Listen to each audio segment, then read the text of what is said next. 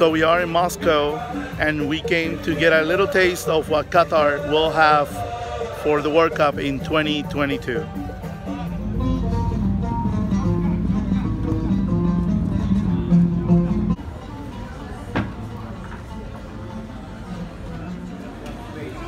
In Lebanon.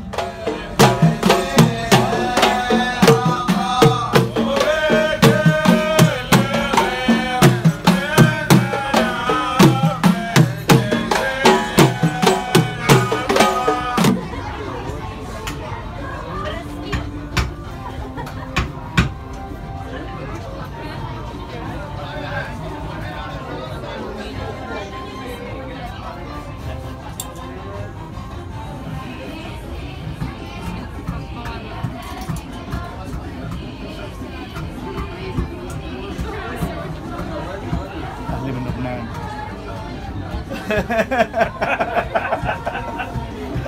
was just about to say that. You look Arab. I. I just told them right now that my family's from Lebanon. okay. Yeah. Okay. Enough of today.